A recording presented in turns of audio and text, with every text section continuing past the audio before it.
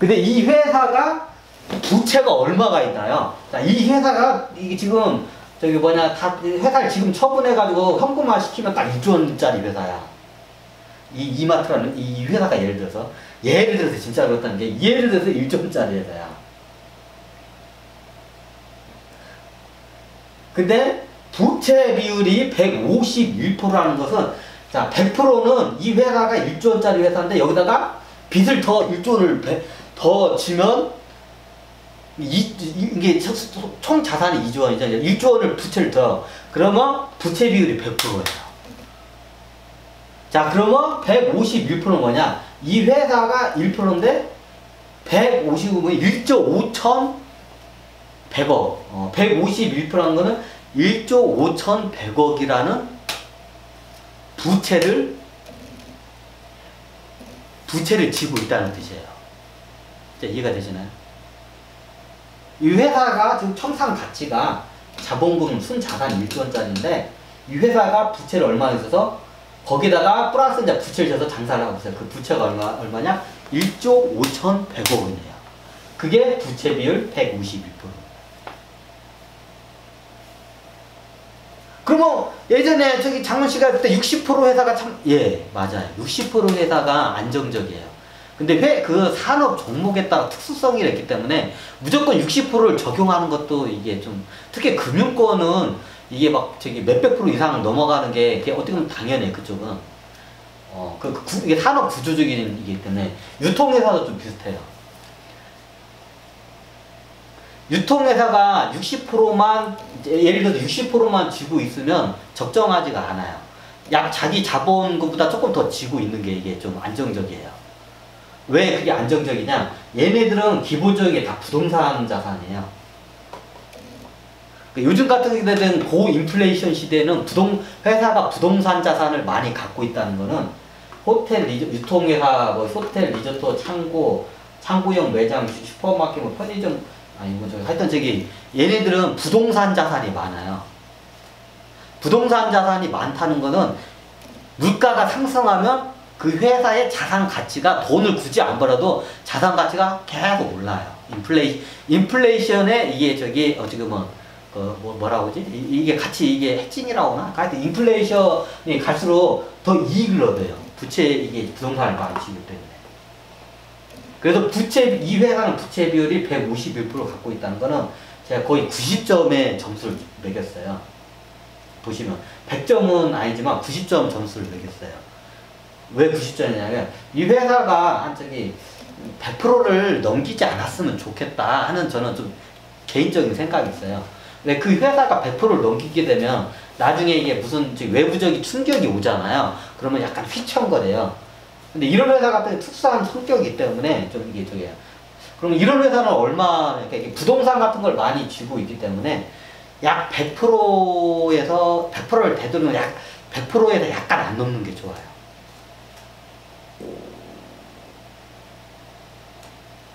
아니 그렇게 따지면 한1000% 해가지고 막 부동산 겁나게 많이 사가지고 나중에 보면 저기 하면 이제 그렇게 되면 나중에 어, 한 방에 가요. 자기가 감당할 수 없는 부채를 지고 이게 사업을 하잖아요.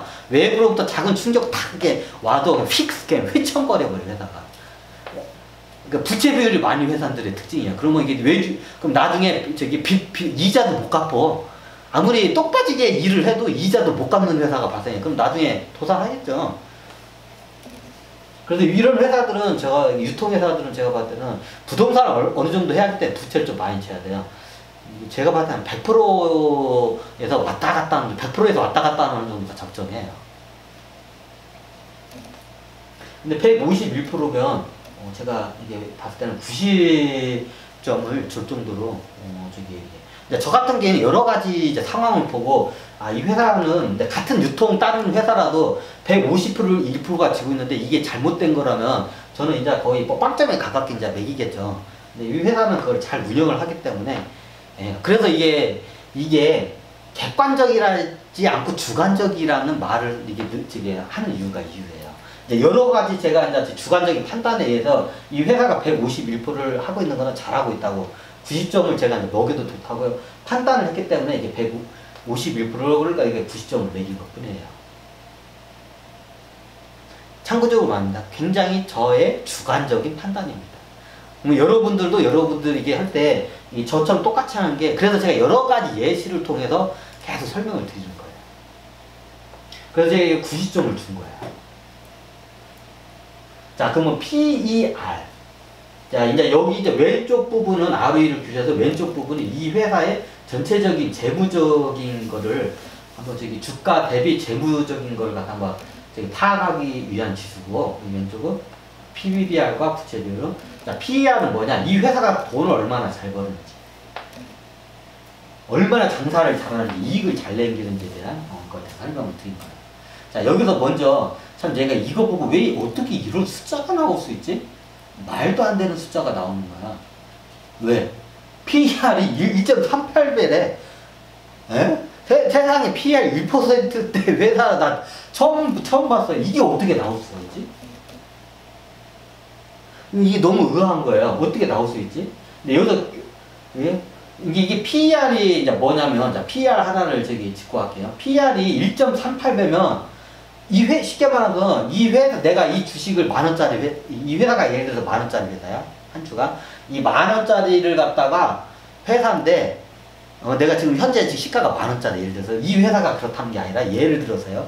만 원짜리야. 만 원짜리 주도 샀어.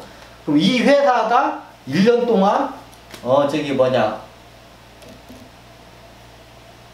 아, 저기 뭐냐. 이 회사가, 어, 저기 뭐냐. 이 회사가 이 내 만 원만큼 벌어들이는데 시간이 얼마나 걸리냐? 1.38년이 걸려요. 1년 하고 이제 개월 수로 하게 되면 한, 한 5, 1년 5개월 되나? 대략 1년 5개월 정도 될란가요? 이게 1년 5개월, 1년 5개월이면 내 주가만큼을 벌어들이는 거야, 이 회사가. 현재 이 회사가 만 원인데 내가 만 원 주고 샀는데 이 회사가 1년에 13,800원을 벌어들인 거야. 이게 PER 1.88배입니다. 어, 나 이런 세상에다 이런 회사 처음 봤어요. 한 배짜리. 그럼 이 회사 그러면 어떻게 되나요? 저는 참고적으로 이, 이 만약 이마트가 PER이 어, 저는 7배만 들어와도 100점을 줘요. 딱 7배만 7배만 돼도 100점을 줘요. 꾸준한 그 잠깐이 아니라 꾸준한 자 저기 어 그 저기 그 저거 저거 하여튼 PER이 7배만 나와도 저를 100점을 줘요. 7배만 나와도. 근데 어떻게 되냐? 어 지금 1.38배. 7배 이하죠. 7배 이상으로 가면 이제 떨어지고 7배 이하로 7배, 6배, 5배 이 이하로 나오면 저는 100점을 줄 수 있는 회사예요. 근데 말도 안 되게 1.88배야. 이 회사는 제가 진짜 이게 100점 만점이니까 100점밖에 못 주지 이게 이게 천점을 주고 싶은 회사예요. PER만 보면. 참고적으로 다시 얘기합니다. 저의 지극한 주관적인 판단입니다. 저의 지극한 주관적인 판단입니다. 그럼 이 회사 여기서 안 떨어지겠네요? 떨어질 수 있어요. 요, 요즘 같은 경기 대하락 이런 저기 그 추세에서는 회사가 아무리 좋아도 주가가 같이 다 곤두박질 쳐요. 근데 이런 회사들 많이 안 떨어져요. 특징이. 이제 버블이 많이 생겼던 회사들은 막 10분의 1토막, 100분의 1토막까지 쭉 떨어져다 파산을 해버리는 회사들이 생기고 이런 회사들은 많이 안 떨어져요.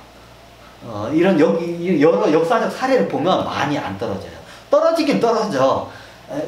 대세 급락 장세에서는 장사가 없어요. 아무리 우량주에 아무리 장사 잘해도 수익을 많이 내도 시가가 다 떨어져. 그때 장사가 없어 진짜로 그때는. 그러면 떨어질 수도 있어요. 어, 떨어질 가능성이 높아요. 또 근데 많이는 안 떨어져요. 자, 이게 1.38배예요. 말도 안 되게 싸요. PER 하나로 봤을 때도 이 회사를 갖다가 100점 만점을 봤는데 1000점을 주고 싶어요. 자, 이게 PER이에요. 100점 만점에는 100점밖에 못 주기 때문에 100점을 줬습니다. 자, 그 다음에 영업이익률이에요. 자, 영업이익률이 뭐냐? 이, 이 회사 같은 회사가 1조 원어치, 1년 동안 1조 원어치를 팔았어. 1년 동안 1조 원어치를 팔았어. 그렇죠? 자, 1년 동안 1조 원어치를 팔았어. 근데 이 회사가 이제 이것저것 다 빼고 얼마가 1년 동안 정산해 보니까 얼마나 남았냐? 예, 0.9%가 남았어. 이게 1, 1%도 안 남았어. 1%에서 약간 안 되죠. 거의 1%가 거의 1%죠. 1조 원어치를 매출 1조 원어치를 야 매출 1조 원 찍었어. 자 1조 원의 매출이에요. 1조 원의 매출이 얼마인가요? 100억 원이죠. 어 100억 원밖에 안, 100억 원이 1%죠. 근데 0.9%는 얼마나요? 네, 90억 원이죠. 자 1조 원어치 영업 이익률이 매출이 1조 원, 1조 원어치 물건을 팔았어. 근데 남은 게 이게 저기 많이 팔았는데 얼마 안 남았어. 얼마밖에 안 남았어? 영업이익이 저기 900억밖에 안 남았어요. 이게 영업이익률 0.9%입니다. 아 900억이죠. 90억. 자 정정합니다. 90억. 1%가 100억이죠. 1조 원에서 1%는 100억이에요. 그러면 90 저기 뭐냐 0.9%는 90억이죠. 90억밖에 못 남겼어. 어떻게 해요? 장사 겁나게 못했어. 물건은 많이 팔았는데 남은 게 없어. 이 회사가 어, 이 영업이익률이 겁나한 게 겁나게 많이 팔았어. 회전율은 좋아 이게. 근데 나 이게 마진율이 엄청 박복해 없어. 장사를가 어떻게 보면 겁나게 못했어. 그럼 영업이익률이 얼마나 되냐? 예를 들어서 우리가 물건을 저기 아, 저기 뭐냐 이, 이마트 가 가지고 예를 들어서 10만 원짜리 물건을 하나 샀어. 그럼 이마트한테 이거 퍼떼고 쳤다고 하면 순수하게 이마트한테 저, 아 이렇게 계산하면 안 되는구나 회전율이 이렇게 틀려지는구나 하여튼 이래요 이게 그러면 이걸, 이걸로 봐서 그냥 장사를 겁나게 못했어 어, 1조 원치를 팔았는데 1년 동안 1조 원치의 물건을 팔았는데 90억밖에 못 남겼어 1조 원 동안 그게 0.9%예요 영업이익률이 그럼 어떻게 해요? 자 이제 장사하시는 분들 하면 뭐 1조 원치를 팔았는데 남은 게 0.9% 0.9%밖에 안 났다고? 차라리 장사 때려쳐라. 다 장사하는 분들한테 그 얘기하면 1년 동안 그 매출액에 저기 그 순수하게 나, 그 이제 마진 남은 게 그 저기 0.9%밖에 안 남으면 장사 때려쳐야지. 그 뭐더라고 장사하려고 다 그렇게 얘기해요.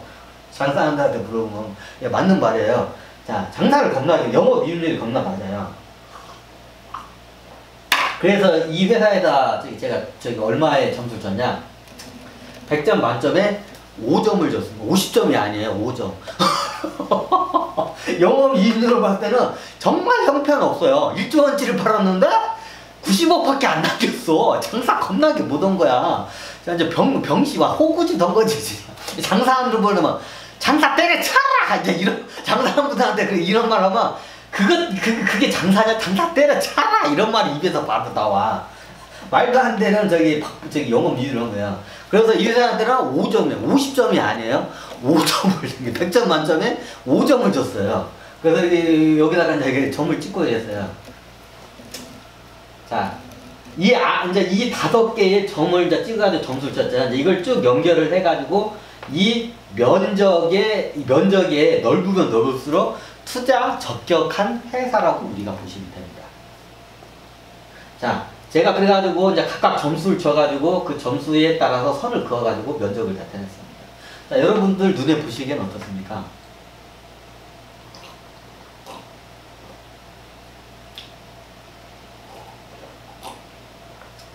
아, 갈증난다. 자, 여러분들 눈에 보시기에는 어떻습니까? 요 면적, 노란색, 빨간색 칠을 해가지고 노란색 면적을 했죠? 자, 요 면적이 넓나요? 좁나요? 이게 여러분들 보면 다 아시죠? 이것이 좀 여기에 있으면 얼마나 좋을까. 네. 그렇기 때문에 지금 이 회사 시, 이게 지금 시가가 싼 거예요. 이게 여기에 있잖아요. 이 가격으로 안 떨어져요. 이 가격으로 내려올 수가 없어요. 자, 여러분, 여러분, 딴거 다, 다 하고, 이제 시총값, 시값, 모든 걸 다, 뭘, 여러분들 하지 말고, 이만하고, 이, 딱 다섯 개만 잡고 가세요. 이 다섯 개만 잡고 왔을 때, 이 회사에 투자할 만한가요? 투자 안 할 만한가요? 이제 이 면적에 넓으면 넓을수록 투자가 적격하는 거고, 이 면적이 좁으면 좁을수록 이 회사는 투자해서는 안 되는 회사예요. 어. 제가 봤을 때는 이 회사가 이게 여기에 저기 숨겨진 것들이 굉장히 많아요. 자, 이제 이 숨겨진 걸 다음 시간에 살필 거예요. 이게 보시면 딱 한 가지 보면 이, 이 여기 영업이익이 여기에 딱 붙어 있으면 그냥 딱 여기 뭐냐 90점, 100점도 필요 없고 70점에만 걸려 있어도 그게 이거야. 그냥 볼 것도 없어. 이 이게 여기에 안 붙어 있고 여기에 붙어 있기 때문에 PBR이나 PER이 이게 지금 100점이 나온 거예요. 이게 여기에 붙어 있으면 이게 이렇게 이게 안 나와요. 나올 수가 없어요. 그래가지고 이 지수만 보면 맹점이 봐. 그래서 그런 현장 현장 시장 분석을 해봐야 돼요.